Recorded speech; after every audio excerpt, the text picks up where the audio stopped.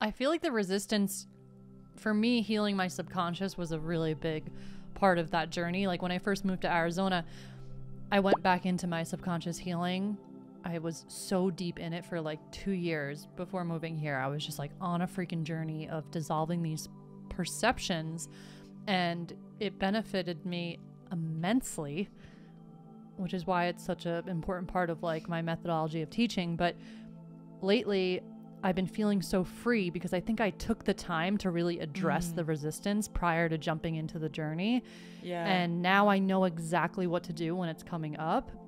Because for me personally, my resistance was rooted in believing that my art wasn't worthy enough to be seen, or it wasn't good enough, or it wouldn't have enough impact. And healing my subconscious allowed me to see that, like, first of all, what even is like being enough? That was like such a belief that I had Mm. and working with just like that belief in totality and seeing it just at face value of like we we say this all the time like I'm not enough like I don't think Mm. I'm good enough like enough of what like Right. literally enough of what Yeah. and I just went into this whole realization of like I think I'm like enough. And like my my words are worthy. And I'm actually a really powerful freaking channel as we all are. And my art deserves to be seen and heard. And I know it has such potential for impact on this collective.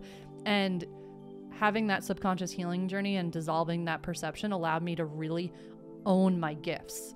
And to say like this is my gift. Like i have an ability to say something that allows people to have a really big perspective change and i it's a Mm. disservice if i do not put this out there and it's not really even about me it's about me transmuting these words in a way that allows people to have that like holy fuck aha moment type of Yes. thing so Yes. I think the resistance, you can go into it further to really like alleviate it, but then you also have to know your tendencies when you're actually in the creative process and you're in that flow. I feel the tendencies. Like I'll be sitting at mm-hmm. my computer and I get this like ping in my body of like pick up your phone. Like you can go scroll for like 10 minutes. Yeah. Like it, it's 240 it's 241. Okay, scroll till 250. like just pick up your phone. And I Yeah. feel that. And now that I'm aware of those tendencies, like how you were saying, the resistance can show up as just you putting something in between you and the Yeah. process. With that awareness and with the embodiment journey that I'm on, like I have now become the person that can feel that urge and then not pick up the phone. Like Mm. I'm just not that person anymore.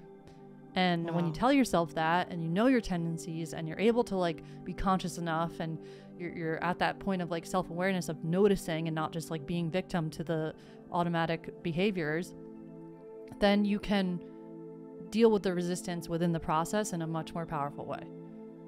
Wow. Yeah.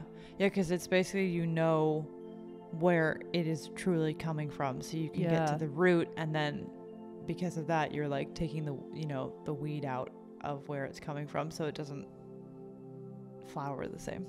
How do you deal with that resistance? Yeah, I mean, I I think it's it's been similar. There's been times where by just quote unquote pushing past the resistance, it like healed the root that was causing the resistance. Yeah. But then also sometimes by doing like the deeper healing work of you know like this whole th- journey I just went on with hypnotherapy like that was hugely connected to my creativity. Almost in a way I didn't even I almost didn't realize what it was going to cause and how much resistance it was going to remove. So that was an instance where I needed to go deep and within and I needed to understand what belief systems and feelings and perspectives I was having on myself that were then being projected out onto my reality and that were also affecting how I showed up like on the dance floor, on the podcast, or as myself, or whatever. And so doing that healing work let me to then tap into my gifts. And then there's been other times when I think just when resistance comes up and just giving it kind of like the FU and being like, I'm not going to listen to you. I'm going to go do like the creative thing I would like to do. That in and of itself is also healing because it just, it contributes, I think, to rewiring the way that you are relating to yourself and those voices. And so you're starting to train yourself to listen to the intuitive soul creative voice versus like the ego resistance voice. And that in and of itself i think is very very healing. So i think yeah i guess it's it's been both. And i definitely think for me something that has just been relevant on my personal path has been doing a lot of the um yeah just being like a someone who has a very has a, an action bias. Like if i have the idea just start doing it and start putting it together. And that has created like a tendency to not let resistance get in the way. And then i think it becomes more obvious when there is something else that is deeper that needs to be addressed. Wait, okay, so I believe everyone has their own powerful way of healing subcon- subconscious perceptions, and there's not one way to do it. And Yeah. like what you're describing is literally the creative process, using the creative process as subconscious healing. right yeah And that is so freaking powerful because if someone's heart lies within that journey of being a creative, that's going to be an avenue for them to heal those perceptions. So that's just so, Totally. so freaking powerful. Yeah. Well, it's even like you can even just think about it that the let's call it like the action bias route would show you the things that are going to come up. Like when you are creative, it's a mirror for all of your insecurities and your fears and your doubts and the things that you think you're not good at or when you, you think you look funny or you suck at it. Like all of that comes up by just being creative. So it's like you almost get the data faster of what is going on that you would like to heal effectively or to like go deeper into the healing work by facing yourself in the mirror because that is what happens when you create. I think that is what makes it so healing is that it both is showing you what you have within you and then also giving you a direct avenue for healing it at the same time. Like the what's that saying? It's like the